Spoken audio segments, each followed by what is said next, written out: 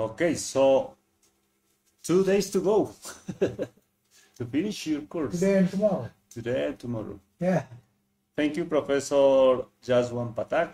We are here today to listen, to attend your talk, your lecture on nano-based value care solution for oncology practices.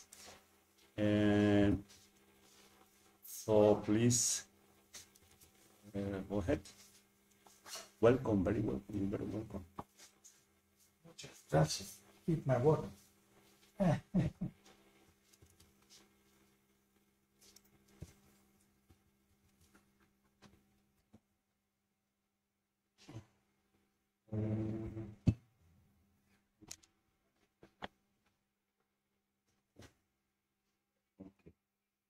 So we are recording. Yeah. Muchas gracias, Professor Caesar, and uh, it's my last but one talk, and probably tomorrow is my last talk, and that will cover complete the workshop which uh, Professor Caesar had planned to utilize my presence in Colombia, Bogota, as a Fulbright specialist. So I'm extremely thankful to all of you. So I will start my talk.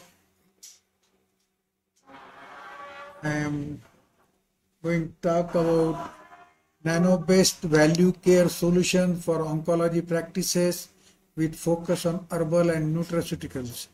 All the figures are taken from various web sources just to explain the ideas and concept not to be used for sale or any other purpose except teaching. So, Amo Colombia y la gente de aquí, mi nombre es Juan Pathak, actualmente estoy en USA, soy profesor y decano asociado en la Universidad del Sur de Florida, Taneja College of Pharmacy. Estoy en Colombia como beca- becario Fulbright especialista. Uh, sincere thanks to Universidad Distrital Francisco Jose de Caldas for hosting me as a Fulbright specialist here at Bogota. My sincere thanks to Rector and Dean and other administrative heads supporting my trip here. My sincere thanks to Fulbright Specialist Commission of Colombia for supporting my trip to Bogota, Colombia.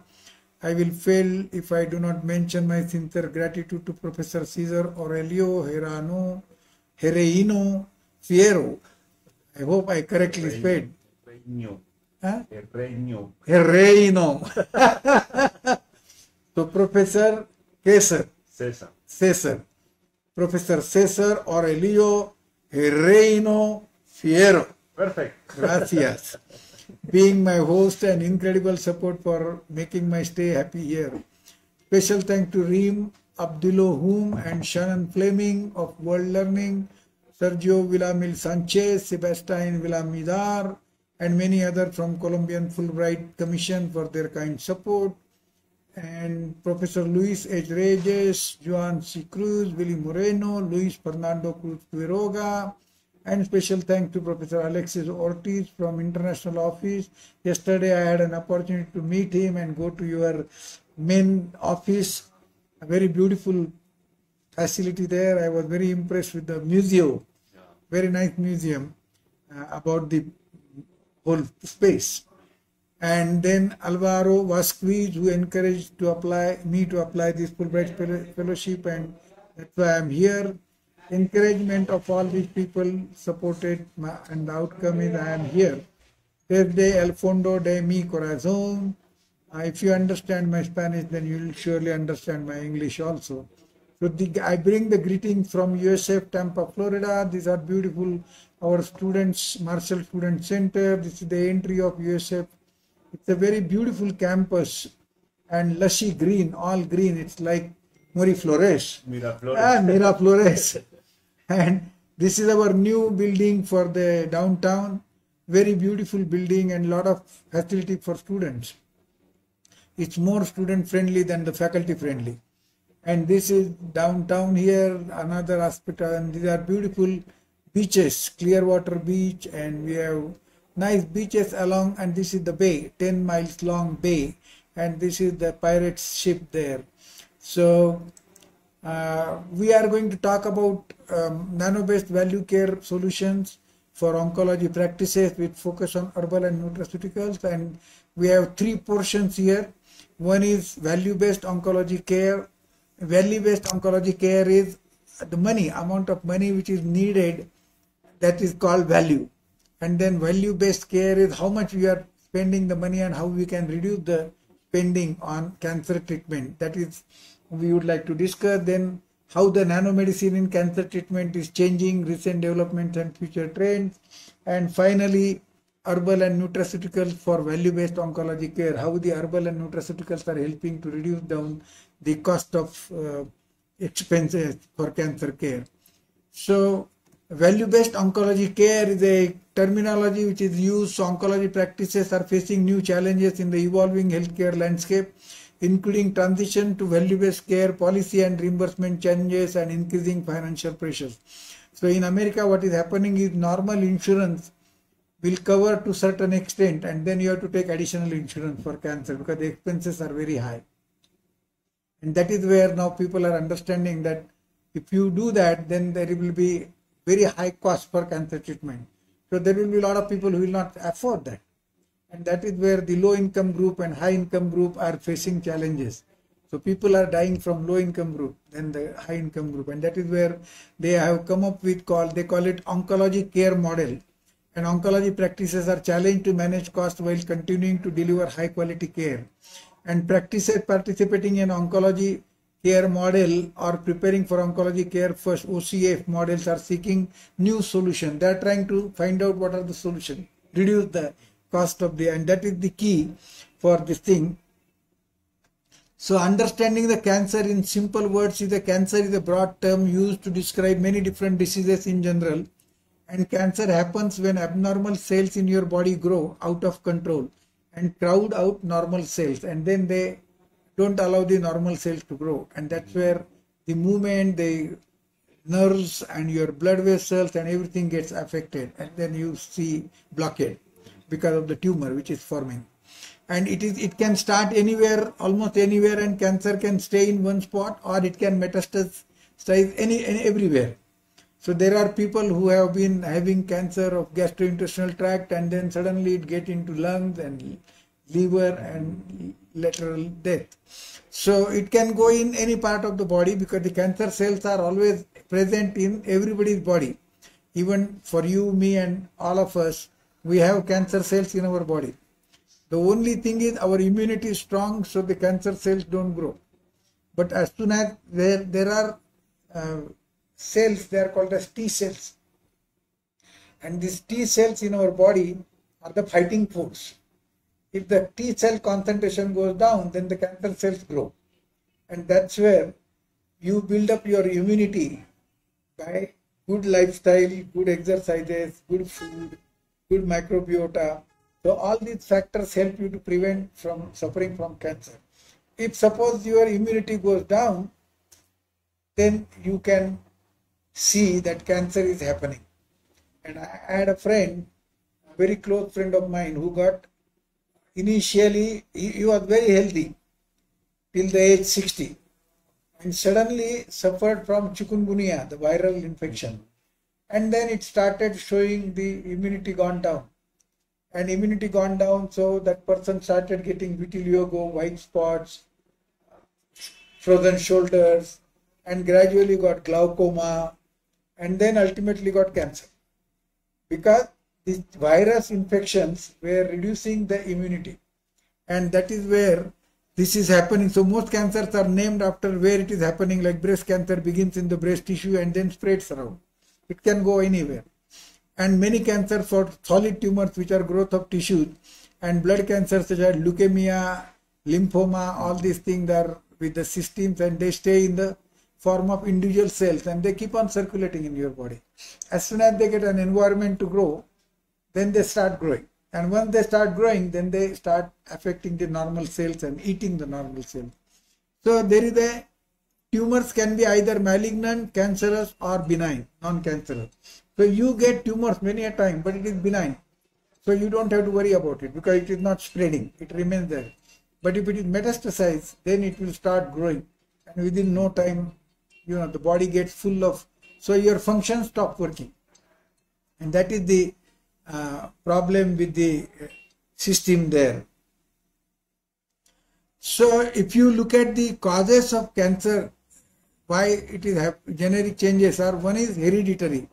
So good number of nowadays they are learning about the genes and they are finding that cancer is a hereditary disease. So if the mother has breast cancer, the daughter will have it in the normal cases unless she takes care of that. Then if you are getting exposed to a lot of UV radiation, like you go to beach and minimum clothes you wear and get exposed to UV radiation, then in due course of time you get skin cancer. And then that skin cancer can also spread around. Then you have chemical fertilizers and insecticides carcinogenic chemical lot of things food. Used to use some carcinogenic chemicals. We never thought about it. And then some people got cancer. So now they are worried about carcinogenic chemical because they don't know and they only find out later then as i mentioned viruses you know like covid virus also in long run we will find out that those who suffer from COVID may have cancer because it changes immunity. And COVID happens because people died because of reducing immunity in COVID. And that's why, why various viruses, now viruses are everywhere. So you are continuously exposed to viruses.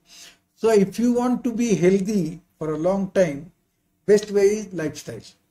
Healthy lifestyle helps you and then smoking is another reason. Mostly lung cancer is very common in smoking. Tobacco, if you use tobacco, chew tobacco, then a lot of oral cancers happen. And then finally the cell division, if your body gets, all our body carries cancer cells. Now cancer cells in, indirectly affect the normal cells and they start mutating. So the mutation of the normal cells gradually builds up the concentration of cancer cells. Now it will take time. So as you grow older and older, the chances of getting cancer are bigger and bigger, more and more. And that's what we'll see in our system. So rising cost of oncology, you can see in 2015 it was 182 billion. Now by 2030 it will be 245 billion, almost close to uh, 60 means 60 70 percent increase in the cost. And this is the cancer cost in happening in uh, united states and similar thing there numbers can you can see. So there are different types of cancers localized cancer regional cancers and the cost of uh, uh, is uh, treating the cancer is different.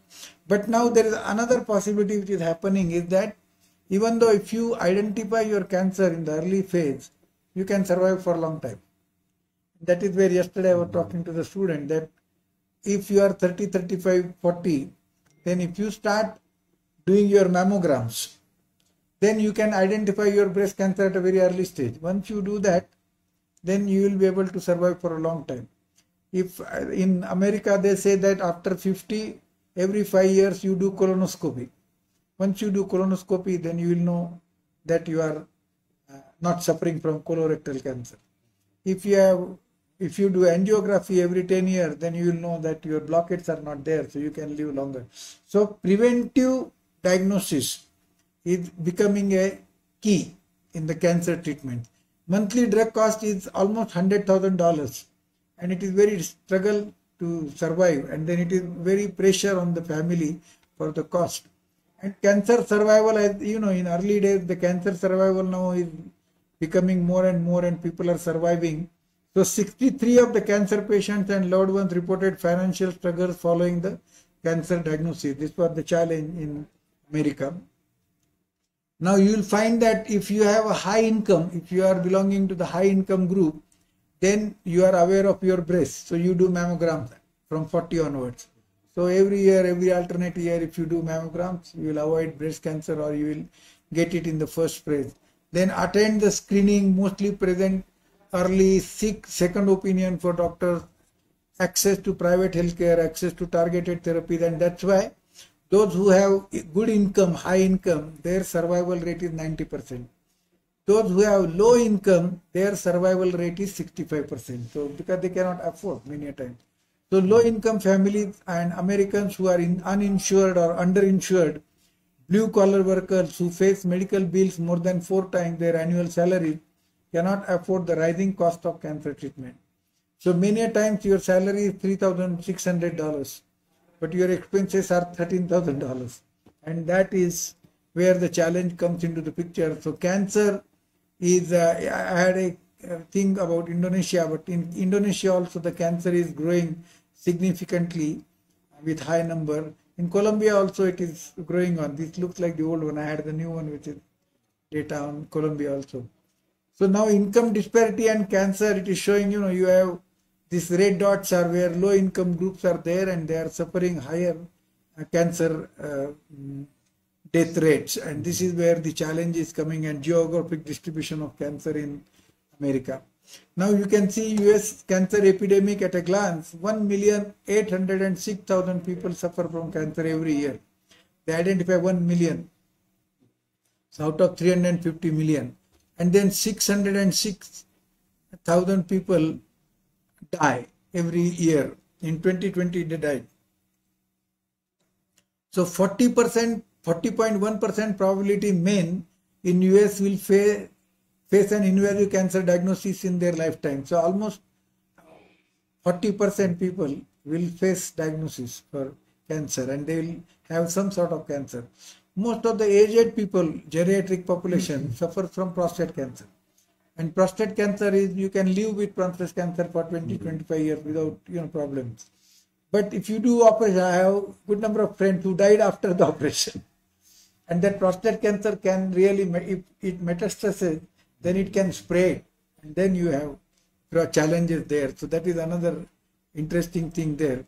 So now you will find that 60% of the cancer patients are 65 and older. As you grow older, the mutated cells grow and then they form the tumors. And that is why it is the second leading cause of death in US behind the heart disease. Heart attack is the major cause of deaths in United States and second one is and then 150 billion dollars were spent just for cancer care in 2018 and it is growing expenses for the system. So you have post-operative surgery is another lot of expenses are there because once you have operation then you have a lot of follow-up and that becomes too much because if suppose you have a cancer you get surgery then you have to follow up every three months go to the doctor get mm -hmm. the mri and all the things so that becomes very expensive follow-up for the post-surgery expenses. So these are cost of prevalent and patient concerts. So for lung cancer, it is $282,000. Mesothelioma is $150,000. Breast cancer, $101,000. So now you can imagine the average salary of Americans is around $40,000. So it goes five times their annual salary. How they will be able to uh, manage that, it is not very difficult to know. And that is where the challenges are coming. So you'll find that in 1960 the average age of American was 70 years. In 2018 now the average age is 81 years. So cancer number of cancer patients is growing because people are living longer. And that's why they are showing that if there are population with 80 plus years, then almost 2,500 people from $100,000 suffer from cancer. If it is 60 to 79, then less than 2000 people. If it's 40 to 59, then almost 500, uh, less than 500. 20 to 39, even lesser than 100. And 0 to 19 is like almost nil. So young people don't suffer because the mutation doesn't happen. Mutation happens over the period of time in the normal cells, and that's how the cancer cells are formed. So this is uh, and this is another thing, female smoking prevalence percentage, male smoking prevalence percentage. So you'll find that male smoke more than the female. And that's why they have more cancer, lung cancer than the female patient. But subsequently, as you, as the year going by, people are now, even women are smoking equal to men. And that is why you will find that there is a overlapping of the uh, curve and then male and female both who are smoking are suffering from cancer there. Now the value of cancer we have seen this slide in the earlier and it is growing like anything and that is where the challenge comes into the picture. Now average monthly income pre-tax is 3600 and government takes the tax minimum 10%. So it is almost 3300 per monthly. So 36,000 so 40,000 that's what I was saying and now average monthly cost your monthly income is 3600 monthly cost for chemotherapy is 1000 to 12000 radiation is $9000 and immunotherapy is 10000 to 20000 this is monthly cost. Your income is 3600 your costs are so high that it is 63% of the cancer patients and loved ones reported financial struggles following the cancer diagnosis. 63% so you can imagine a big pressure on the and this is where the value of cost treatment is growing up so now what people are trying to do is to find out the solutions for that so nanomedicine is becoming one of the very good solution for uh, cancer lowering the cancer co cost and then alternative treatment post surgery and pre surgery is another area that we'll talk with the herbal and nutraceuticals. So the second portion is talking about the nanomedicine, how the nanomedicine is developing. So we have disease driven design. So based nowadays we are learning more and more about cancer. You know, it was in early days the cancer was one thing which is dreaded disease now we are learning more and more about cancer. Is it what is the reason of it? What are the genes required? What causing that? And how metastasize, how it metastasizes. And it is, you know, you don't die immediately with cancer. It takes six months, eight months, one year. So you have time to learn about your own cancer that is where we talked about precision medicine. That's where we are now learning the thing. So you try to understand the target population and selection criteria. What kind of tumors are there? What kind of treatment can be given? So you study that. So what will enable earlier stop decision? So if you con continuously do the mammograms every alternate year or every six months you will be able to avoid that. If you do the prostate testing you know normal in, in normally in american system for annual checking, they always test prostate, whether the cancer is there or not. And it is very easy. Nowadays, you don't have to do the anus testing. Nowadays, there is a biomarker which tells you that you are suffering from cancer or not, prostate cancer. So I have that biomarker which is very low. Mm-hmm. So it is like in 0.001%. So my doctor said that at least for coming 10 years, you will not get prostate cancer. That's what, you know, so based on biomarkers now, it is easy to identify people who do not, who will get cancer or who will not get cancer. And this is where it is very easy. And once you do this test, these are not expensive tests, but that gives you a peace mm. that now you have a, and then you are exploring different types of delivery system for typical specific tumor pathology, diversity and clinical disease relevance in vivo model, understanding therapeutic margin and dosing schedule. So these are some of the new developments which are happening for cancer treatment. So cancer treatment from general cancer treatment now going to personalized cancer treatment for individual person and that is why you can treat the persons very specifically. Now, you know, this slide, when I show it, people don't like it. Because I quote Mark Twain, he said there are lies, there are damn lies, and finally there is statistics. So scientists use the statistics. Sometimes I make a joke that if you start using statistics, you stop the science. because you are trying to play with the numbers. Statistics is playing with the number. But it does give some idea. So you mean your statistics are fact, but my facts are just statistics. So it is very interesting document. So people don't like this side, but I show it in the big conferences also. but we'll see the statistics for cancer. So you'll find that estimated new cancer cases in 2017. So prostate cancer, 19% people suffer from prostate cancer. Out of that 1.8 million people, you can imagine how many 100,000 people suffer. Lung cancer and bronchial cancer is 14%, colon and rectum is 9%, urinary bladder 7%. So skin, melanoma of skin is 6%. Now melanoma of skin can be avoided, avoidable cancer. But you have to use sunscreen. But then now the problem is sunscreens are destroying the seas because the components in sunscreens are destroying all the uh, sea beauty. And that is where the problem. So in Hawaii, they don't allow you to use sunscreen. So now people are bathing. They may use swimming costume but on above they use full sleeves clothes like pajamas and all those things. because otherwise you cannot use sunscreen. This is the problem. And you got and especially if you have white people their skin is very sensitive. They burn very quickly. And that is where because like i am a brown person. I carry more melanin than white people. So it is uh, challenging for them. The black people even better because their skin is much higher in melanin, so they don't get much skin cancer. So there are kidney, renal, pelvis, non-Hodgkin lymphoma, leukemia. So all these are different types of, uh, but you will find that the difference is in the female it is breast cancer, it is 30%. So it is very high percentage of breast cancer, 12% lung. Uh, in human beings, uh, men it is 14%, colon cancer is 8%. Earlier people used to see that women will have less colon cancer, but nowadays it is becoming very common because they don't eat fibers and all those things. So lifestyle almost same. And then uterine corpus is another area. So they have also, so this is the number of cancer for uh, average. And then estimated new cases of leukemia, lymphoma and myeloma in 2017, 30,000 cases of myeloma, leukemia, 62,000 cases, lymphoma, 80,000 cases. So this is like 172. These are all blood related cancers. So they remain in your blood and the circulation.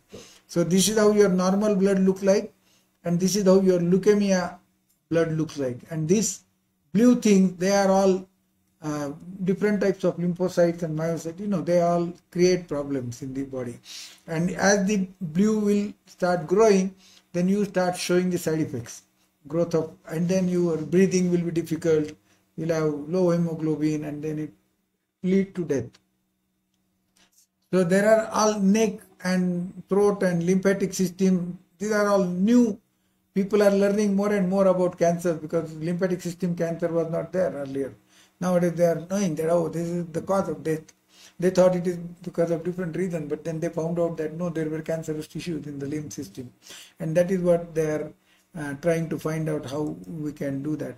So five-year relative survival rates, you can see that uh, they change. You know, with the advance of the sciences in 1960-63, uh, the survival rates were uh, there, but gradually you will find that the numbers are growing up in different uh, systems.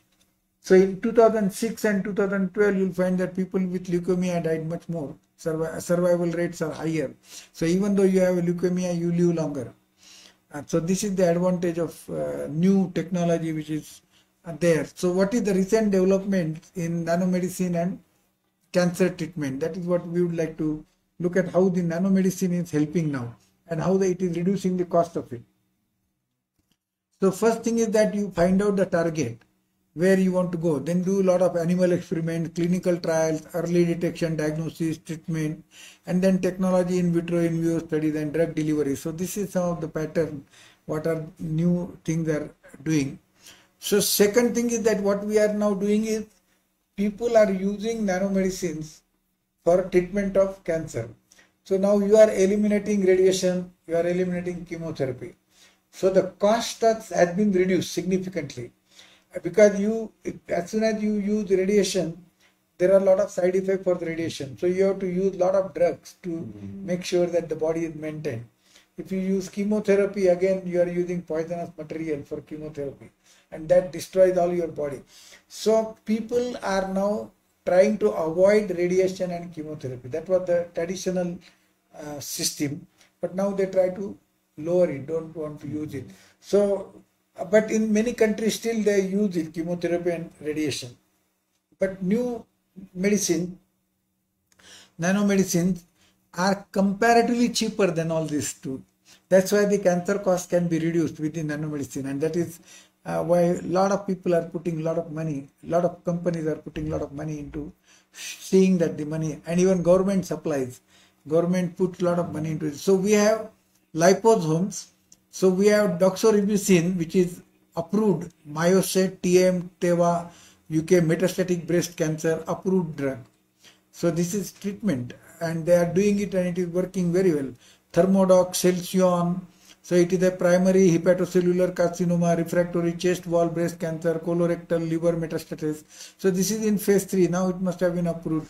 So you will see that there are capso, capso, Kaposi sarcoma, ovarian cancer, multiple myeloma. This is approved drug. So liposomes is a nanoparticle, nanomedicine, which uses different types of drugs. So you have vincristine, uh, you have put vincristine in liposomes and now it is a FDA approved drug. So it is available in hospitals. I think it must be available in Colombia also because uh, bigger hospitals must be using it. It's not very expensive. It's like thousand dollars or two thousand dollars per injection, which is much cheaper than the radiation and chemotherapy. Then daunorubicin, daunoxome. Uh, this is HIV related Kaposi sarcoma. It is approved. Then cytarabine is uh, lymphomatous meningitis. It is approved. Then irinotecan is another drug which is metastatic pancreatic cancer approved. So now you have medicine for pancreatic cancer. Earlier it was not there. So this is nowadays people with uh, pancreatic cancer also live longer.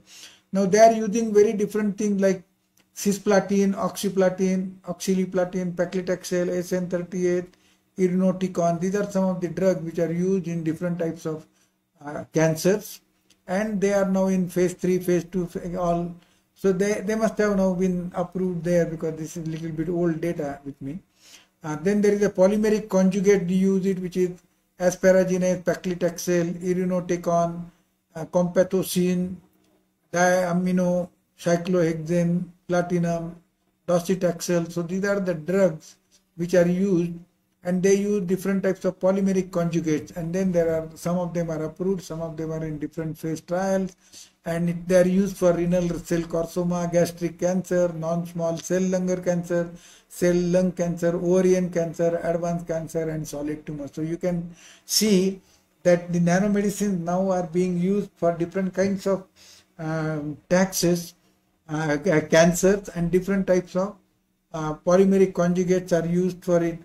Then there is a new group called polymeric nanoparticles where polymer they are used for azothromycin, azotropin, uh, as, as it is azotropin something AZD281, hydroxyquinazolone, pyrazole, anilide, aurora B kinase inhibitor, and it is used for advanced solid tumor. This is in phase one. So probably it will go in phase three, and then you will be able to available. Then polymeric micelles, paclitaxel is there. These are all injectable. They go into your blood circulation and they are used for all different types of cancers and you will find that a good number of companies are working on it then there is a D, DSCH plate platin which is nanoplatin nanocarrier pancreatic cancer head and neck cancer small cell lung cancer and bladder cancer. So these are all very useful. So they are really reducing the cost of it. The nanomedicine is helping in reducing the cost of uh, now we have more future trends in the nanomedicine and some of them are to understand that there was a traditional approach to treat the cancer. So traditional mainline approaches to treating cancer have been chemotherapy, radiation therapy and surgery. And these are sometimes characterized as poison, that is chemotherapy, burn, that is uh, radiation and slush, that is surgery because they use very poisonous materials. If a normal person get the chemotherapy, you are dead because it is so poisonous, you know.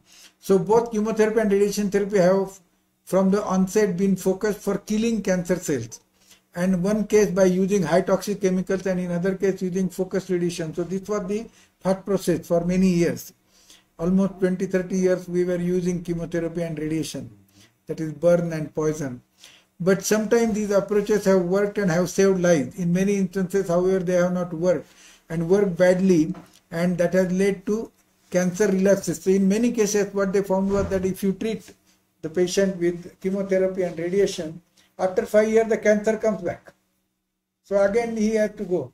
So, you are with this, you reduce the lifespan of the human being rather than letting him live for longer you kill them in five years. Otherwise, they will die in two years. So that is where the challenge is coming, and many people, many many people say, I don't want chemotherapy, I don't want radiation, I will die normal with cancer because it is so difficult. Because when they see the side effects and all those things, they do. I, I had a friend uh, who was also associated with our organization. He was president. He, when he came to know that he is suffering from pancreatic cancer, he told flatly, "I don't want to take any medicine. Whatever three, four months he got, he lived happily and died one day, you know. So, but you need good, strong mind to do that because death is inevitable. You are, everybody is going to die. But whether you want to live longer with all chemotherapy and radiation or you want to die in three months, the option is yours. And that's where But in America, this option is not given unless you write it in your will. Otherwise, they will treat you till you die. Oh, yeah. it's very interesting. So in America, living will is very important. So now people have started changing the approach. So initially, everybody start that we'll kill the cancer cell, we'll kill cancer cell by different technology. Mm-hmm. Now they started understanding what exactly is biology. Why? Why the cancer happens in certain people and why it doesn't happen in certain. So they try to understand the systems biology. Systems biology is to understand the root cause. What is the system which is taking place in the biological system? Why it is happening? And system biology approach is what you do is you get lot of data from thousands of patients, compute the data and try to understand why this is happening based on a lot of data. So you the bioinformatics and genomics has given us new tools to understand the system biology. And from systems uh, computation we use a lot of new software to understand the analyze the data. And then from there we get more and more information about the biology of human being we are learning every day we learn a lot and then you get new insights from the biology uh, so you are using computation go to the new hypothesis, get new insight. From there, you come to the new biological question use new technologies, and come back to the new data. So now this is a cycle. So you, you suppose you use nanomedicine in 100 patients. Now you create a data. Now based on that nanomedicine data, you try to understand what is the new hypothesis, why it worked, why nanomedicine in work. Suppose out of 100 patient, 80 patient gave very positive result, 20 did not give. So now you start understanding what is the difference of that 20 patients which did not give positive result and what was the thing which gave positive result in 80 patient. So that is now new insight in understanding the biology and that is called system biology approach. And system biology approach understanding disease is founded on the simple profound belief that diseases are systemic disorders that emerge from the dysfunction of one or more networks that subsequently change the levels of the molecules controlled by these disease perturbed networks. And the cause of these network dysfunctions can be genetic or environmental or disease progress.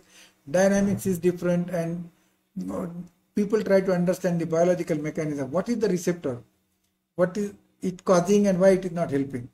This is where you are learning more and more about the disease as the changes caused by the disease perturb the networks percolate throughout the system, they inevitably lead to the systemic dysfunction of the multiple organs. And this is where system biology approach is working very well. So now we have to understand that how the system biology approach is there. I have a very beautiful presentation actually on this to understand system biology. So you have organ networks. So you have lung, you have liver, you have heart. So these are big things. They are main organs. So they are all related with each other. So you and your brain monitors them. The organ networks here. But at the organ network, you go further down, we learn that there is a cellular network. So there are cells, different types of epithelial cell, all different types of lymphatic cells. There are different types of cells within the body. Now these cells also work in hand in hand with each other. So you have to understand that how the things are working, network. So you you are understanding in system biology is at different levels. One is at organ level, second is at cellular level, third is at molecular level, where you have different kinds of DNAs, RNAs, mRNA, all those things are there. And then you come down to the gene level where you are exactly understanding what is the genetic structure of the system. And now what is happening is people when they did this approach, system biology approach, they now started. So initially, what people used to do that if you have a lung cancer, then they will treat the lung cancer by killing the cells, cancer cells Now people started understanding what must be the cellular mechanism behind that. And then from cellular mechanism, they came to molecular mechanism. Molecular mechanism, they came to genetic mechanism. And now we are understanding, and I think another 10 years, you might go further down to understand more because Today we are well versed with nanotechnology. We know a lot about it. But there must be something in the body which is even smaller than nanotechnology, nanoparticle, which may cause this. And that's why system biology approach will definitely be enriching our knowledge about so from genes how the genes modify the molecular network how the molecular networks modify the cellular network and how the cancer cells grow. Now we are trying to understand what genes are responsible for the growth of cancer cells. And once you understand what genes are responsible then you can treat the cancer in a different way. That is what immunotherapy precision medicine is coming up and personalized medicine. So this is the individual with major organic thing, but all these networks, cellular, organ, molecular, genetics, they are like social networks and they are related with each other. and this is where you are understanding that there are signaling pathways. So genes will signal to the molecular level. Molecular pathways will signal to the cellular level cellular pathway signal to the organ level. and people are understanding different types of pathway. You know, this is a complicated picture, but there are several different types of pathways which is in the body which come down to your DNA and RNA, you know, the gene levels. And this is where the um, things are happening. So there are several signaling pathways that play an essential role in the cellular decision between proliferation, differentiation, and the death. So cells, cancer cells proliferate, so they grow in numbers. And then they differentiate between cancer cells and normal cells. And then they cause the death. So the cells cells are continuously dying, but the they the cancer cells will grow, they will proliferate. So they will differentiate, proliferate, and death. But in between, their number will grow the more number of cancer cells grow, the normal cells will go down. And that is where the signaling pathways help us to understand how the proliferation is taking place, how the differentiation happens, and how the death of the cells happen at the cellular network level. An alteration in the signaling pathways and connected gene regulatory networks can change the cellular decisions and thereby trigger the onset of tumor formation. So you, people are now learning that which gene causes exactly the cancer cell growth that is where at genetic level you understand. So gene network is helping to understand the cellular network. Why cancer cells are growing. And even there, though there are multiple pathways components studied in detail in many cancer types, it remains unresolved how formation, information is processed and how cells decide whether to respond or proliferation or differentiation of survival.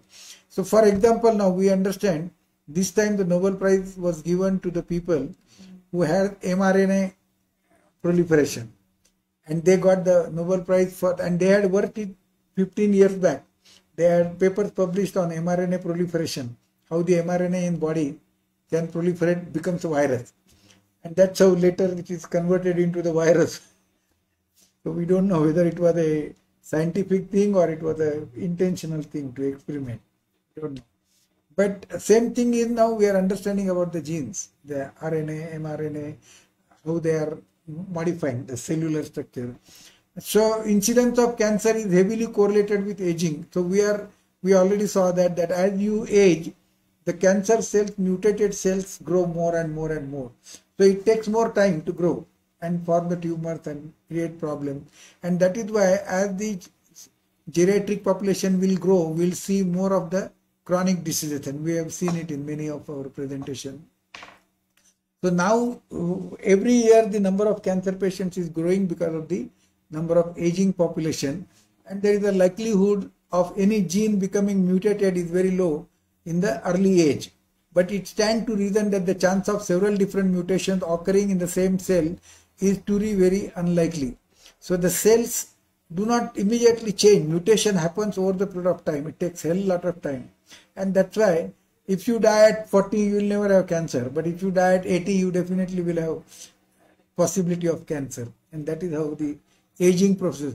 So for this reason, cells in the 70 year old body have had more time to accumulate the changes needed to form cancer cell, but those in child are much less likely to have acquired the request, requisite genetic change.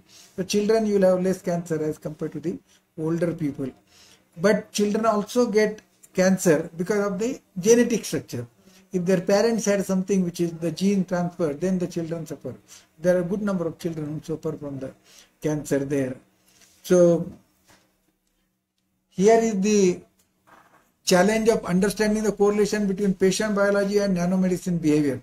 So now what people are doing is they are trying to understand individual patient biology and that's why it is now becoming a personalized medicine. So what they do is they try to understand that what type of cancer the patients have, what type of genes are involved in it, what type of cellular pathways are used for individual patient. And once they know this, and this is nowadays done with the biomarker, there are various biomarkers in cancer which tells you what type of receptors involved, what type of challenges are there. And based on the individual patient you can use different types of lipid based carriers polymer based nanocarriers inorganic nanoparticles or drug conjugates.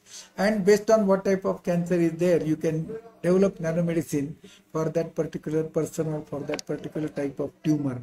And this is what is uh, understanding the tumor pathology and nanomedicine behavior in tumors will enable us to optimize the tumor accumulation. Now you want you don't want to give the nanomedicine to all the cells. You want to give it only to the tumor cells. And that's how this antibody mediated drug delivery system will help you. And then intratumoral distribution, how it happens. Because many people, there was a very good professor, he was Rakesh Jain, he, he was in MIT. So he tried to say that you can kill the tumors by tying the arteries which are going, taking blood into the tumor. There was a lot of research they did it but it did not succeed. They, they didn't find the solution for that because, you know, even if you tie everything, the new arteries will build it Yeah, so it was very fascinating research he had published. Uh, but it did not lead to the final treatment thing uh, until as far as my knowledge is concerned.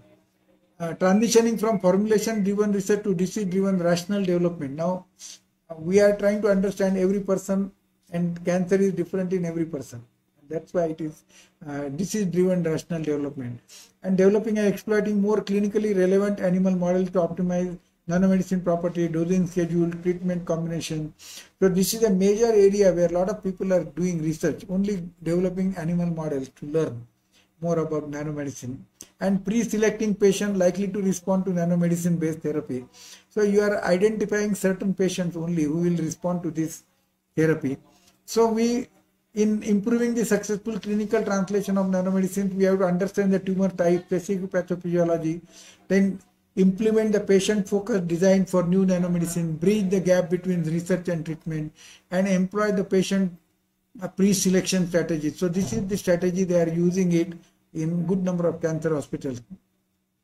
Uh, in Tampa, we have Moffitt Cancer Hospital. So every day, all the cancer specialists, they meet for one hour and they bring the new cancer uh, treatment. And it is a very it is very important meeting happens that and they take the advice of different cancer specialists. Somebody is lung cancer specialist somebody is kidney cancer specialist. The case is brought in there in front of them saying that what type of nanomedicine can we use? And then based on their experience of treating patients with nanomedicine they decide what type of uh, treatment pattern can be done. It's a very good technique they use regularly and that helps a lot for uh, younger doctors to learn more about oncology. So now we have different approaches they are using for drug delivery to the tumor. One is called passive tumor approach where you just put it in and then it will go to tumor. Yet it is not controlled. It is expected it will reach the count.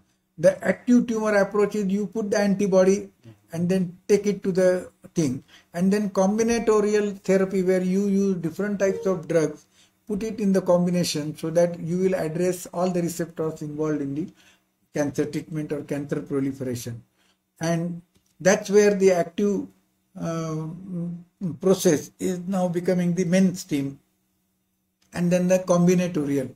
So antibody functionalization and visualization this is these are the structures known as antibodies the monoclonal antibody. And in monoclonal antibody, this is your nanoparticles. Now what we do is you attach your antibodies to the nanoparticles. Once you attach this, it, nanoparticles will look like this. Now these antibody nanoparticles will get into circulation and then they get into your cells. Now cancer cells, because of the antibody present, it will go straight to the cancer cells it will not go to the normal cells and that is how you are focusing so now you are not using chemotherapy not using radiation therapy but you are using targeted nano drug delivery systems with the antibody. So antibodies conjugated to the nanoparticle surface through click chemistry. So you can do this very easily.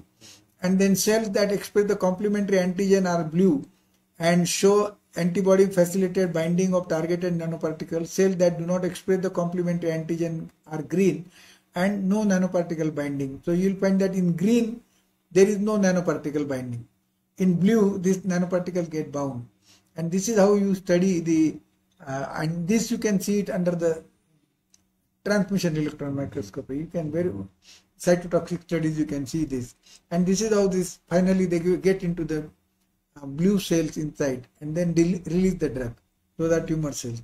So fluorescent microscopy images of HUA 33 uh, monoclonal antibody AZ functional nanoparticles with antibody labeled AF647. This is a picture of those antibodies overlay images adapted the permission. We use that. Yeah. How, how does it release the drug? Because these polymers, they start creating channels and then the channels will release the, that's why you use lipophilic and hydrophilic polymers. And once you use hydrophilic polymer, the hydrophilic polymers uh, will gradually create the channels and then the channels will release the drug. So it's a interaction, the chemical interaction happening sometimes that the cells in the cells, the polymers will dissolve, hydrophilic polymer. Gradually they will create the challenge and then because of those small channels, they are all nano level channels. So your drug particles will gradually move. They are molecules. Drug is nothing but molecules. So they will get out of that channels. And that is how it works. So now the recent trends in cancer therapy diagnosis they are saying that you do diagnostic studies as early as possible. When 40, 50 years, start doing for your prostate cancer, start doing for your colorectal cancer, so that you will know at early phase, you can identify a mammogram. So these are some, so quantum dots and Raman probe can be used for diagnosis. Early detection is possible. In vitro, in vivo detection is possible.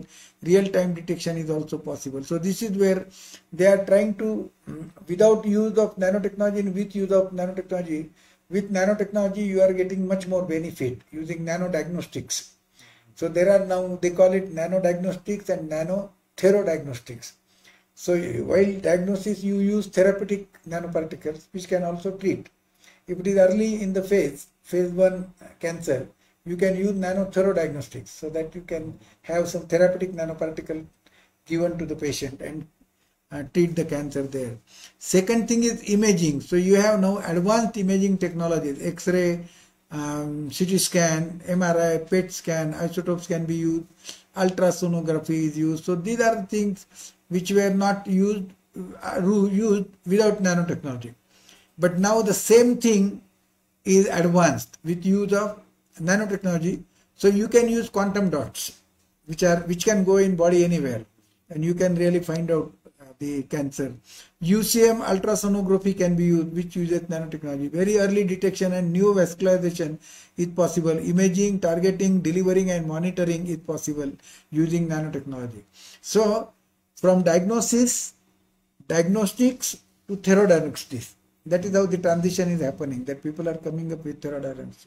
So early detection of cancer is cytology, FNAC and biopsy was used. Uh, nowadays, vital optical imaging is possible, hyper inexpensive mass screening is possible. So it is easy to do that because biopsy will take six, seven days. Here it's immediate uh, information you can get whether it is there or not. And then drug delivery, earlier oral, intramuscular, intravenous, intraarterial drug delivery were possible. Now there is targeted drug delivery possible to deliver small doses and low systemic toxicity, better and faster responses. That is the advantage of nanotechnology. And that is why it is reducing the cost also for that.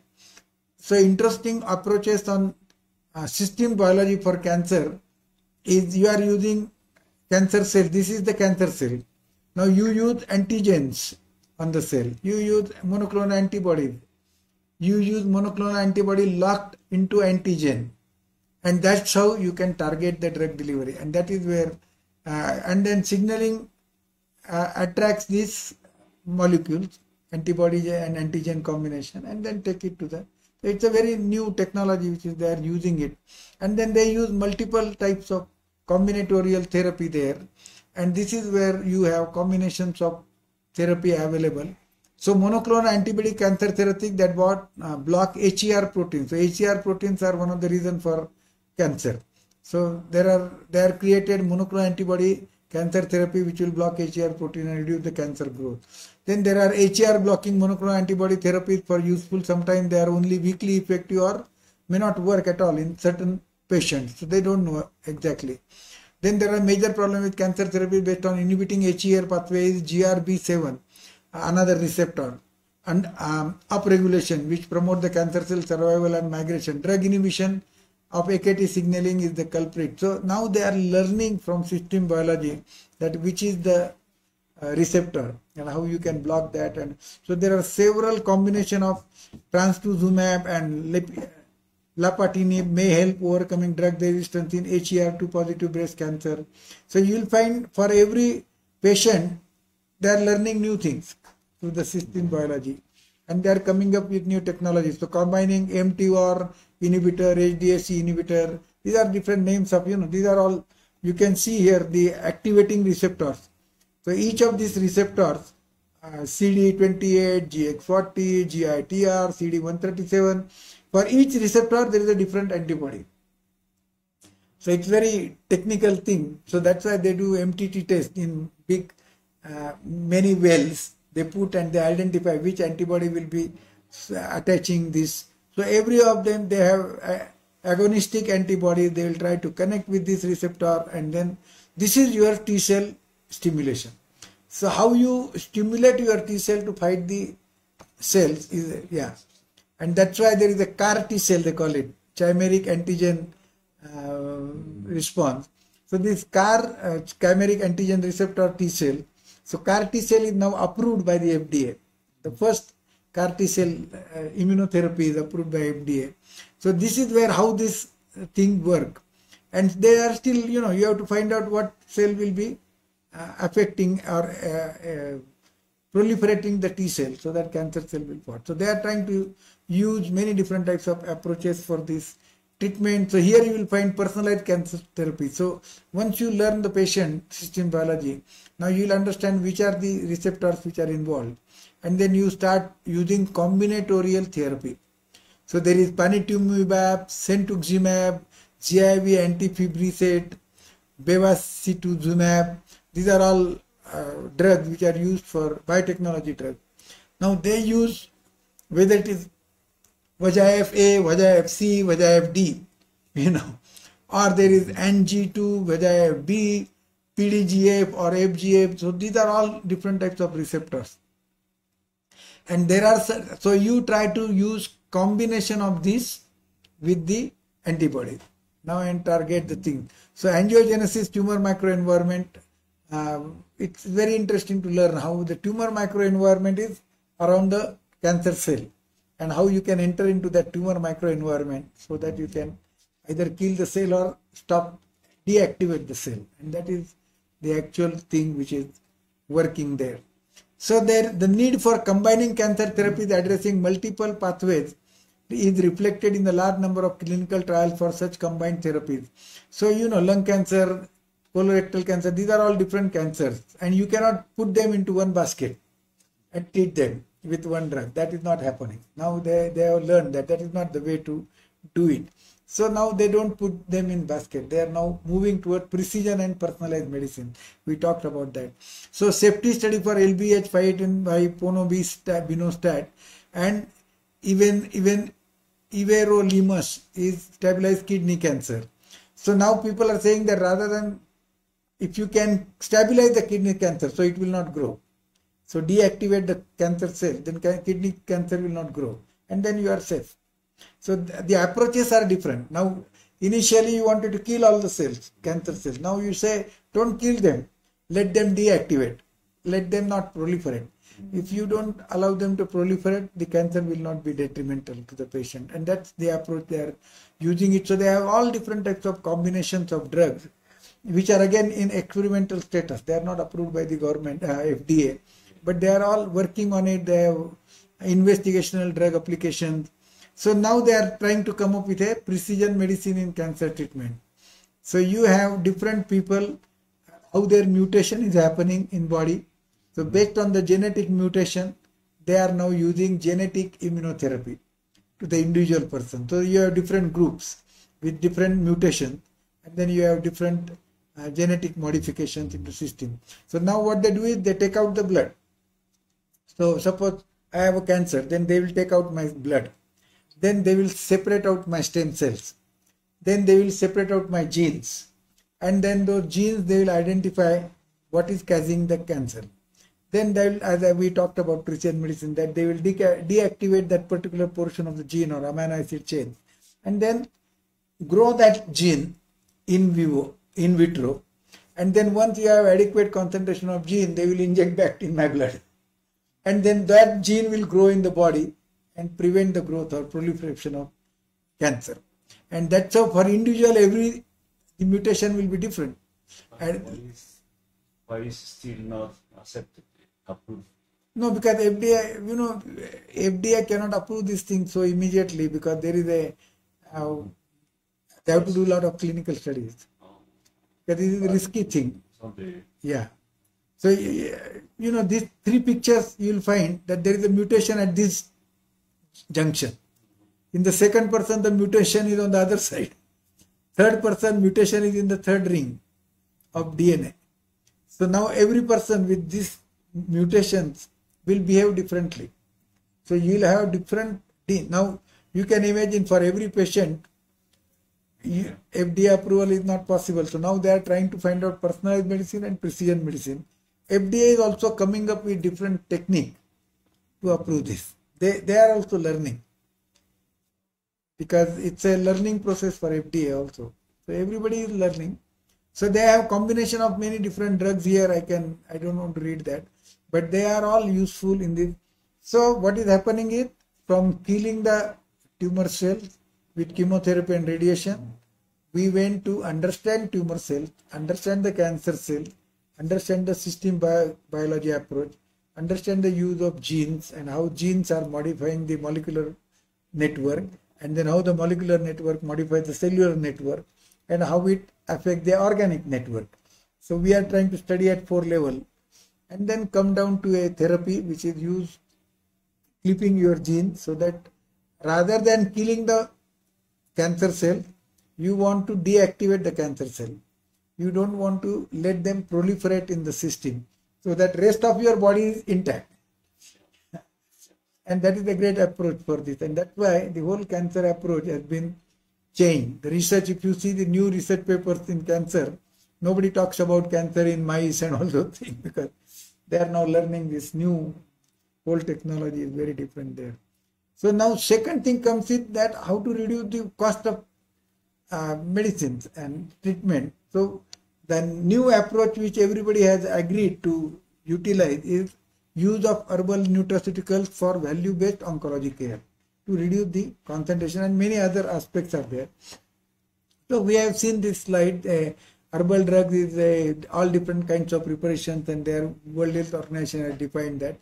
So we are using herbal uh, compounds and extract. They can be indigenous herbal medicines, herbal medicines in systems, modified herbal medicines, imported products from herbal medicine base. So you have abstracts, uh, extracts out of that.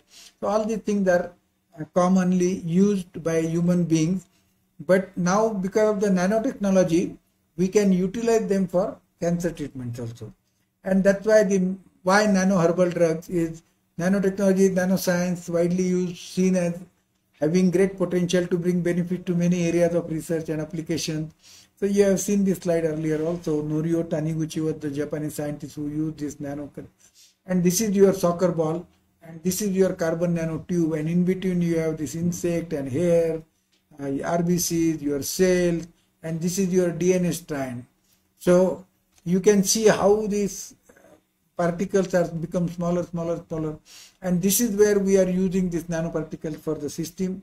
We have seen this nano fabrication bottom up and top down. Uh, bottom up is especially all chemical, top down is for cell phone and TV and all those things are there.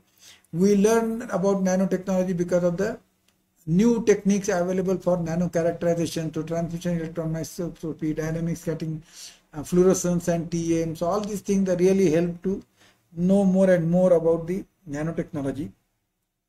We have already seen this slide challenges with herbal medicine, high dose level, characterization, solubility problem, consistency, reproducibility, clinical efficacy, disagreement between the practitioners, and patient compliance. So nanotechnology will in, help in improving the patient techno. Uh, so now we are looking at providing the herbal drug into cancer cells. How it can be done as a complementary medicine to the thing. So nanotechnology can help in reducing the dose level, providing better stability, ease in formulation characterization, better patient acceptability, and it will help in reproducibility of the therapeutic effectiveness.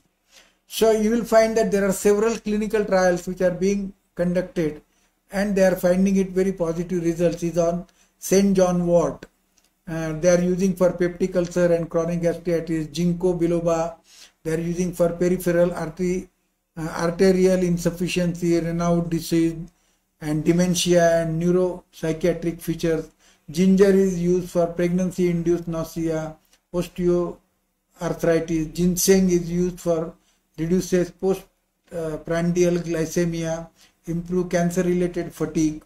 So now ginseng is widely used by cancer patients uh, post uh, treatment. Curcumin is used in healing peptic cancer ulcer. Echinacea is used for common cold. Chamomile is used for generalized anxiety disorders.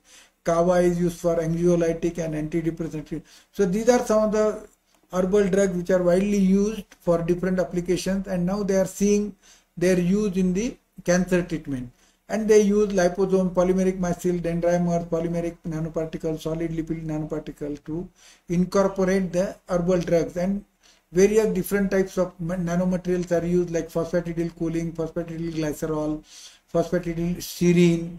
So different types of they are you know chitosan, alginates, albumin. These are natural gelatin. So you can make nanoparticles, different types of nanoparticles with these materials and incorporate the herbal drugs or extracts out of that. So here is uh, some of the natural are gelatin, albumin, alginate, collagen, chitosan. These are commonly used uh, thing. Synthetic materials, metallic is iron, gold nanoparticles is used at therodiagnostics. So they can attach some therapeutic material to the gold nanoparticles and they get into your body cancer. You can target it and now a lot of researches have been done. You will see many papers on the gold nanoparticle there. So this is how these nanoparticles can have fluorescent probe, targeting moiety, payload, receptor targeting, reticulo, radionuclide, antibodies, shell, imaging agents. So this nanoparticle can have so many attachments, multifunctional nanomaterial they call it. And that can be very useful for this thing. So now you have different technologies of preparing sonication, electroformation, extrusion, high shear homogenization for liposome, to all polymeric nanoparticles, lipid, different ways of making nanoparticles using herbal drugs. And the chemical structures of herbal compound like curcumin, lycopene, tetrandrine, uh, tanshinone, stilbene, uh, silibinin. So these are some of the herbal drugs which are widely used. And you will find that this is the uh, name of the herb. They are used using liposome nanoparticles chitosan nanoparticles. And then they have different types of characteristics 30 to 50 nanometers and they have high upload drug upload nanoparticles seem to have suggested to be applied to overcome other water soluble poorly water soluble herbal medicines and furthermore decrease the treatment of dosage cs compound UGHalo this is typical Chinese medicine and it is used for pneumococcus and beta hemolytic streptococcus uh, infection. High pressure homogenization there, nanoprecipitation. So you have different types of herbal drug which are incorporated and seeing their applications in the system. Now there are some interesting developments in cancer treatment using different therapies. So they want to treat the cancer patient with not only drugs and the immunotherapy, but also some other aspect which will reduce their pain, reduce their challenges. And those are pulse electromagnetic fields. This is one area they are using oxygen and ozone therapy, ultraviolet blood irradiation, oxygen therapy, cold laser therapy, BEMER therapy, hypothermia, whole body local, ARP wave theory, hollow biophotonic therapy, liver flush, dose chemo, low dose chemotherapy, So this is where what they want is Brayo strategy for cancer treatment is when possible mitigate the pain without prescription medicine. So you use this to reduce the pain post treatment. Provide proper after clinic assistance, detoxify the body, restore the body natural immune response and eliminate the tumors. So these are now these are very low cost treatment options and that's how you are reducing the cancer uh, treatment option. Now there are interesting development in cancer treatment is lymphatic therapy where they are using very specialized massage where they do lymphatic massage they call it lymphatic massage and that massage will activate the lymphatic system so they have very interesting, uh, they are developing that and more and more uh, people are learning that. So Hercules multi-laser therapy, curcumin therapy, IPT, mind, body, spirit meditation. Now most of the big hospitals in America have this mind, body, spirit meditation. So if you have a cancer patient, then somebody expert of that will come and treat you for half an hour in the evening. Will teach you how to live happily, mind, body and spirit. And that is helping the patient to be mindfully health, healthy. And that is where now this is a new approach they are taking because they are understanding that cancer patient today tomorrow everybody is going to die. But if you want to die happily or you want to die with gloomy face, with choice. So they are treating person to learn to live day by day and every day good day. And that is how that mind, body, spirit meditation is a part of well-being for the and there are uh, wellness medical treatments where they really treat the mind body and there are a lot of spiritual training also they give it. On all religions are now working on that spiritual training. Poly mba healy 25 plus iv therapy frequency therapy prescription supplemental therapy lymphatic therapy. So lymphatic massage to reduce breast lymphedema and swelling this is what post uh, cancer treatment they use that uh, to treat the women with breast cancer now there is another thing which people are trying to do is lifestyle change. Good food, good nutritional food. So they have ultrasound screen, acupuncture, massage therapy, cupping, nebulizer, curcumin therapy, prolo, prolotherapy, laser therapy, nutrition therapy and lab, oncology massage. So in Moffitt Cancer Research, there are massage therapists who are trained for oncology massage. So what happens is if you do the surgery, then you need a different types of massage and that is where they, they call it oncology massage. It's a specialized massage which they have developed several times. So nano drug delivery system entrapping natural bioactive compounds for cancer recent progress. So there are they are using many different types of uh, nanoparticles, nano medicine for treating. So you have complementary traditional Chinese medicine therapy prolonging the lifespan, reducing side effects of chemotherapy, improving life quality, improving body condition and resistance, supporting chemotherapy and reducing inflammation. And for this purpose, they are using complementary traditional Chinese medicine. And they use deliver the traditional Chinese medicine into nanoparticles. And that is where it is a very good, they are working out with this. Uh, this is a very nice uh, review which was recently published in Nano Drug Delivery System Entrapping Natural Bioactive Compound for Cancer, Recent Progress and Future Challenges, Frontiers of Oncology, which was published in 2022. Covers a lot of good information about it. Ayurveda is also practiced in many cancer hospitals. What they are trying to do is uh, Chikitsa. So there are different types of Chikitsa treatments in Ayurveda. So they are trying to utilize that. And then Ayurveda has got another Ayurveda, they call it Manas Ayurveda, which is mind treatment. And they are trying to adopt some of these techniques of Ayurveda into Uh, well-being of the cancer patient. And it is very interesting. So nano drug delivery platforms, which are, this is your herbal drug. It can be in nano emulsion, magnetic nanoparticles, inorganic nanoparticle, lipid nanoparticle, dendrimers, nanospheres, nanocapsules, liposomes, polymeric micelles, polymeric nanoparticles, carbon nanotubes, gold nanorods. So these are the so many options are there where you can put your herbal drugs or traditional Chinese medicine and try to complement the medicine uh, treatment with the cancer and reduce the uh, cost of that is why it is value based reduction of cost. So now they have given a lot of US patents are permitted given so you have a, you, this is the US patent number. It is lung cancer treatment using astragalus, cisplatin and vinorelbine. This is astragalus is a natural product. cisplatin is an anti-cancer drug, and this vinorelbine is an so combination of herbal drug and anti-cancer drug.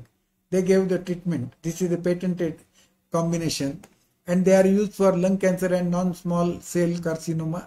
Astragalus, cisplatin, and vinorelbine are the compounds. Then you have novel herbal composition for anti-cancer activity which contains Cinnamomum, uh, J. J. This invention relate to the herbal composition of cancer treatment where cinnamon is used. It, it's cinnamon is used, which you, you get it in Starbucks also, but that is used. So it is used for different cancer treatment. Then there is a patent given to study provides a novel insight into mechanism of action of quercetin induced apoptosis in human breast cancer cell and it is used for human breast cancer. Quercetin is a natural product. Then you have Brassica oleracea which is a natural product. It is cytotoxic herbal silver nanoparticles as a remedy for mammary carcinoma and it is used for mammary carcinoma, cervical cancer and hepatocarcinoma. So there are several patents like there is curcumin and its analog used for pancreatic cancer. Then you have curcumin used for glioblastoma, the brain cancer. Curcumin and resveratrol. Resveratrol is a antioxidant, natural antioxidant in uh, your, oh boy, it, it is in red wine also, resveratrol. But grape, grape wine, it carries resveratrol. And then also uh, berries they call resveratrol. It's a natural, very good antioxidant. Um, so honokiol and magnolol, these are all anti uh. They are all brought together in a patent, and that is used for brain cancer, liver cancer, skin cancer, curcumin, resveratrol, honokiol, again brain cancer, liver cancer, but their different formulation is there.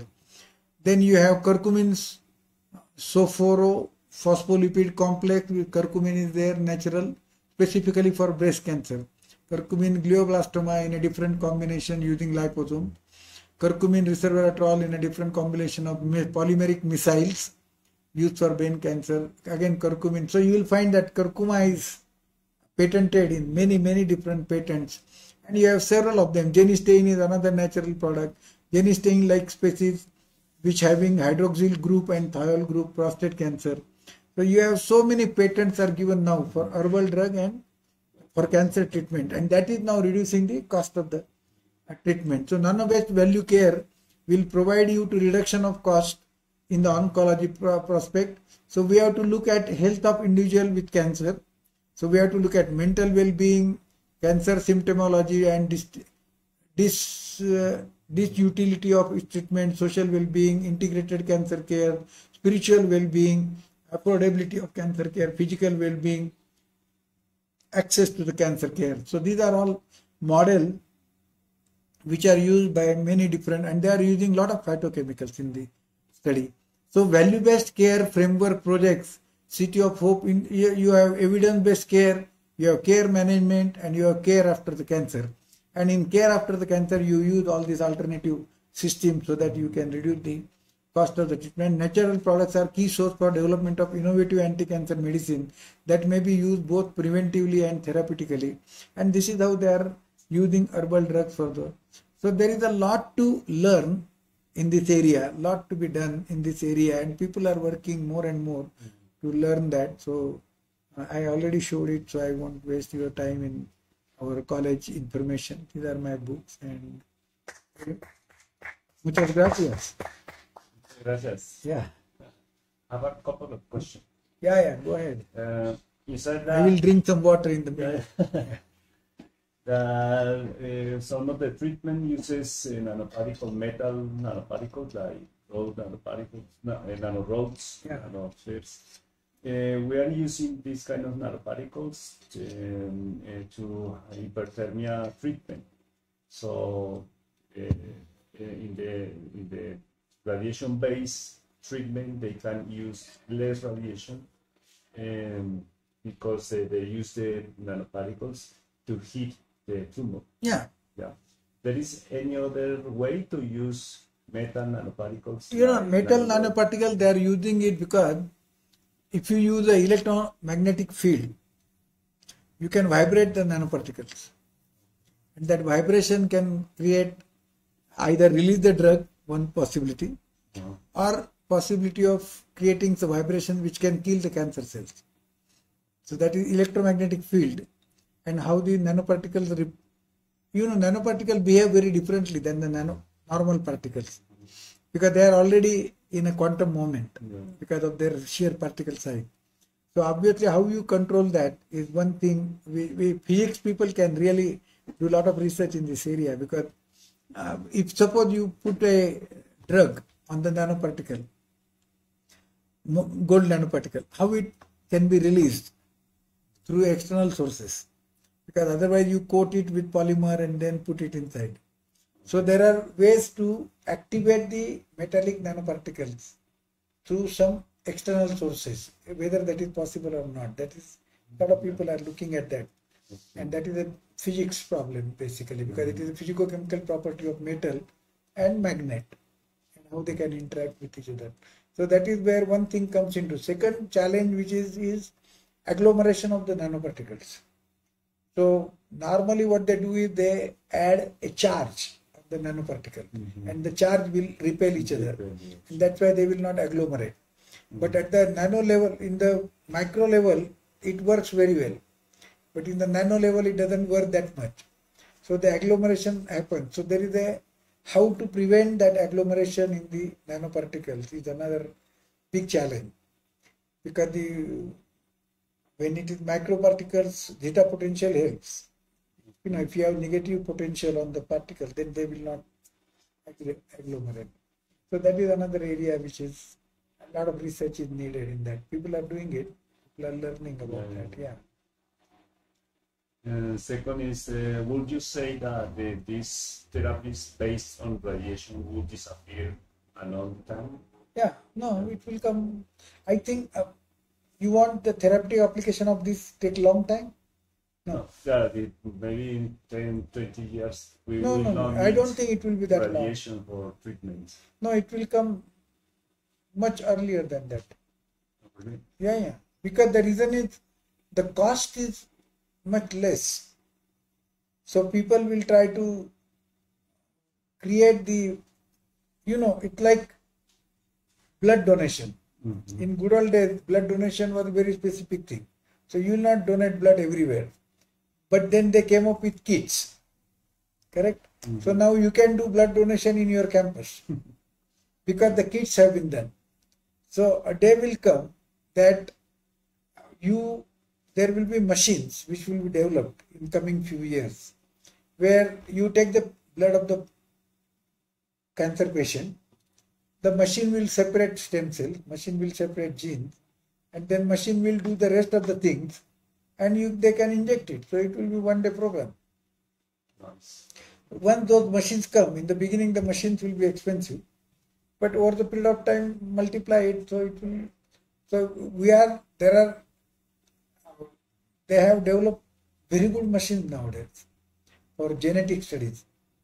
And good number of hospitals are having those studies. So uh, people as i mentioned in thailand like they have a hospital big hospital and they have one full sec- section for genomic studies so nowadays a lot of doctors send the blood sample to the genomic labs get all the information genetic information and decide how to deal with it now the same machines are multiplying.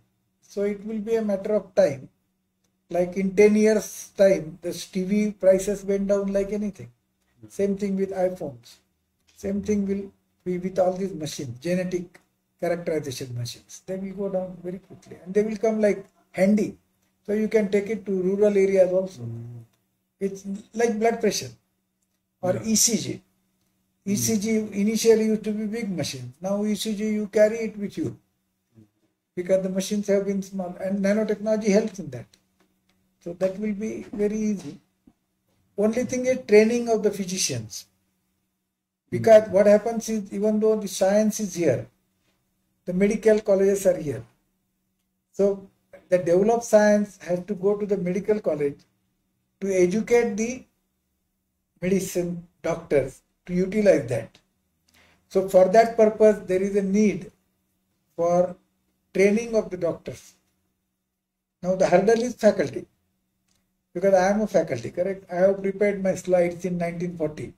I don't want to change my slide. I keep on teaching the same things. So, if the faculty is good, then they will every time, like, I, I don't say that I am a good faculty, but if you see my presentations every year, I always add the new things into it. Every time I modify my presentations, every year I will spend time to make sure that the new things are introduced because the student has to learn the new things. If you remember, I have mentioned that the student today is going to be in profession for 50 plus years. Mm-hmm. So if I tell them all the old things, they are already obsolete. I need, if I tell them new things, then they are at least competitive. So the faculty has to be educated in how to perform, how to give the updated knowledge. Because There are certain faculties, they are dedicated teachers. Those who are dedicated teachers, they will improve every day. They will learn for themselves. But there are certain people who do for, who work for sake of working, not for the pleasure. Then there is a problem. So it depends on what. So there are many colleges, like in our college, we change our curriculum every five years because mm. every five, five years science is changing. Yeah. So you have to do that. If you don't do that, then there is a challenge. So, question in the chat, children. Now you can look at it. I don't know how. Teachers.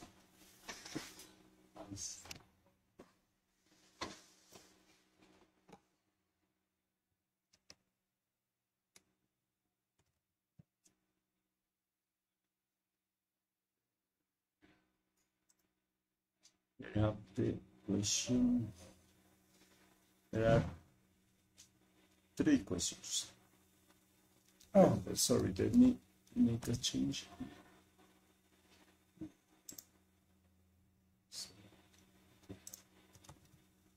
Okay, so.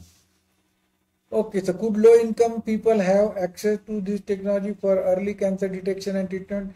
Early cancer detection is uh, available like mammograms. You can do that easily. In, in this hospital, they work it.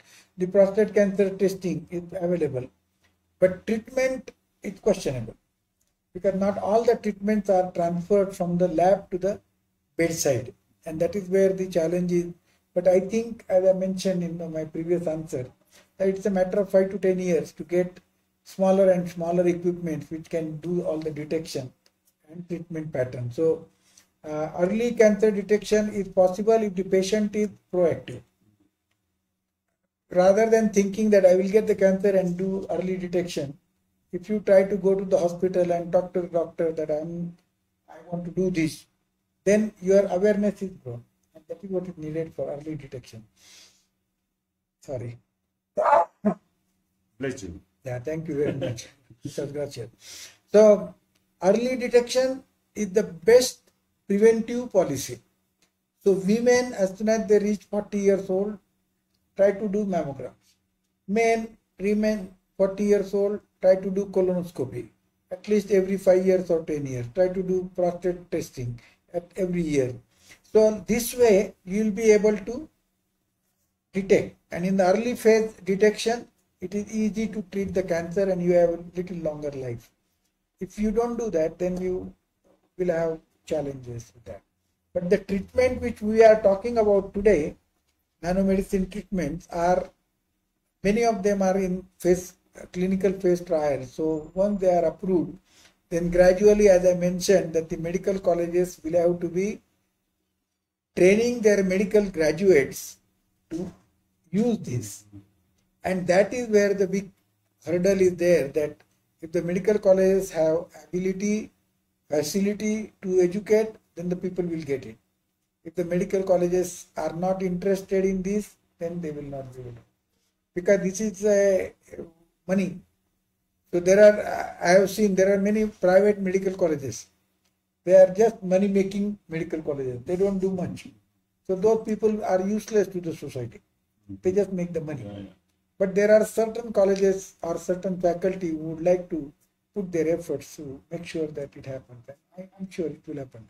Cancer spreads with stress and may not be necessarily hereditary. It is uh, there is still a lot of research has to be done because they have a lot of papers which show that certain cancers are genetically transferred, so hereditary.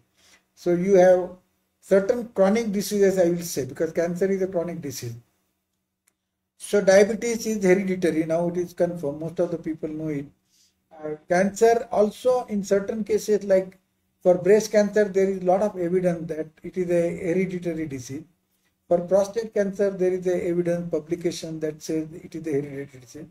So depending on what kind of genes are involved in causing the cancer, probably we will be able to learn more and more about uh, the genes responsible for cancer and whether they come from which parent or grandparent because normally it is three generations which are responsible for the genetic structure.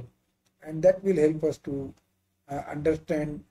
Stress is always if you have stress stress directly is related to the amount of ROS the higher stress you have the more reactive oxygen species are built in the body. The more reactive oxygen species are built in the body, the more inflammatory responses are there in the body. And cancer itself becomes an inflammatory response. So stress is related to well-being of the human being. If you can learn to live with less stress, your lifestyle is good, you will be better off for any disease. Doesn't matter which is cancer or non-cancer or anything.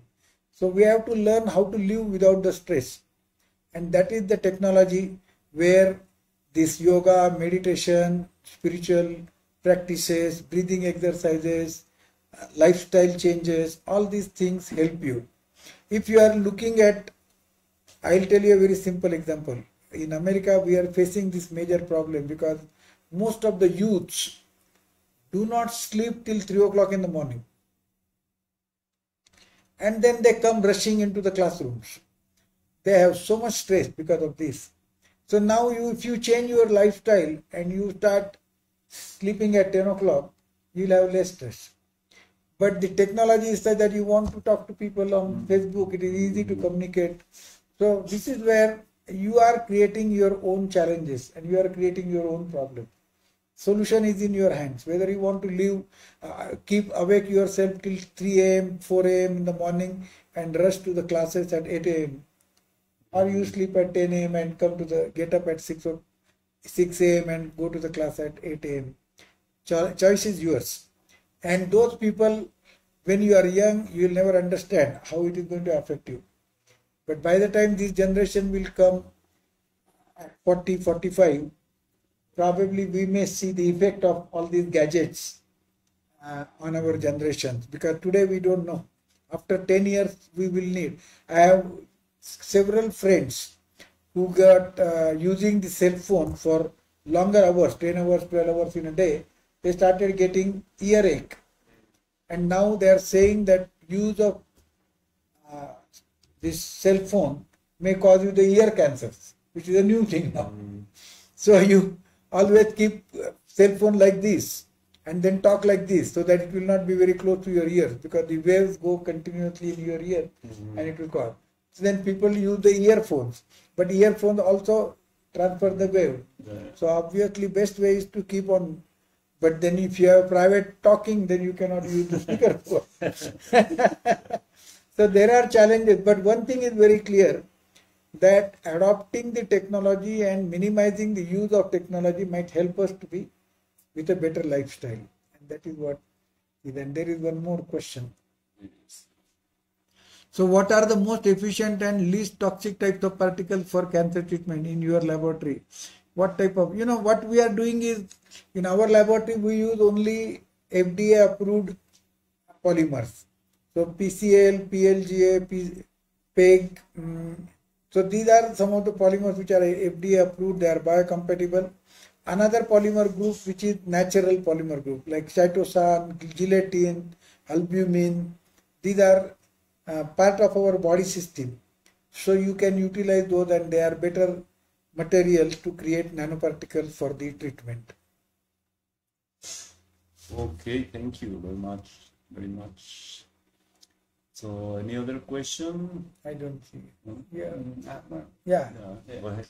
Uh, according to cancer survival rate, uh, you believe the one day um, a cure, a, ca- uh, a cure kind for my found? Cure, I couldn't get it. Okay. o sea, la cura del cáncer. Ah, yeah, yeah. If the cancer can be cured, it can be off uh, forever. Try to understand one basic thing. Cancer exists in everybody's body. So, higher the immunity, you don't see the cancer proliferated. Correct? But you can remove the cancer cells. But then your body will create more cancer cells in due course of time because it is part of the nature. Mutating these cells is part of the nature. So if somebody asks me, can diabetes be completely cured? The answer is no. Because diabetes is a disorder. Diabetes is not a dis- disease. Disorder is where your body does not produce enough insulin.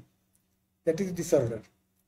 Disease is when you have infection and you get some challenges. That is disease. You can cure it. But disorders can be completely cured? Question mark.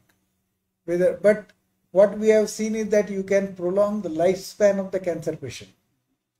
Yeah. So I, as a scientist, if I personal opinion, not the scientific, I think that it will be cancer is not a curable disease. Cancer is a disease which a disorder which remains in your body. Your cells have ability to continuously mutate. And that's why you will not be able to completely remove the cancer for the body for rest of your life. It will appear later. But in the meantime, after the cancer treatment, if you keep on building up your immunity so that you will be a healthy person, probably you will survive longer. But until now, I have seen a lot of cases where with all the treatments and everything, cancer relapses. 5 years, 10 years, 20 years, it comes back. Because your immunity cannot remain same today, tomorrow, day after tomorrow. Because if suppose you get a viral infection, your immunity will go down, cancer cell will go up. Suppose you eat something which has high insecticide content for one year, the rice or anything, then automatically your insect uh, immunity is going down. Suppose suddenly you have a lot of stress. If you have a lot of stress, immunity goes down, cancer will go up. So cancer is part of the body, but building up immunity will help us to reduce that and prolong it. Everybody is to die, correct? So when you die, you don't know. The death time is fixed.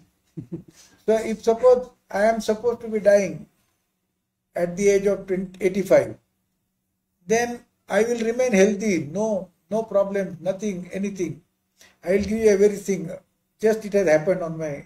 I just got the news from my the person who was senior to me by two years.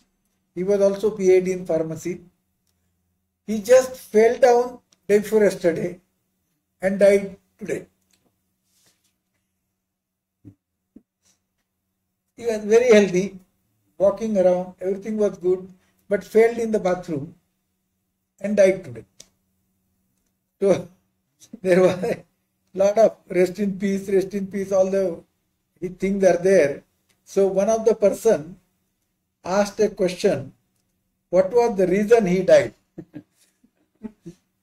so, you know, I, I wrote, death is normal. It was his time came, so he died.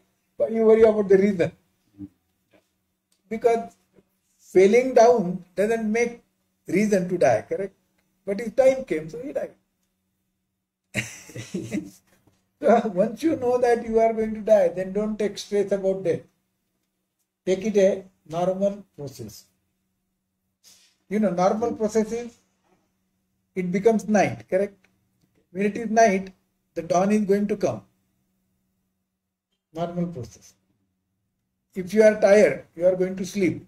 Normal process. if your time comes, you are going to die. Normal process. Then no stress. That's the best way to think about it. I don't know.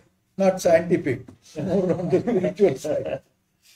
Okay, thank you. Gracias, muchas. much. Enjoyed talking all the questions. Very nice question. More, more questions. So Yeah. let's see. No, no.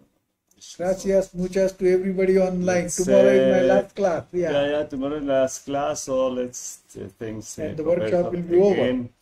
Thank you very much. See you tomorrow. Uh, so, doing- yeah.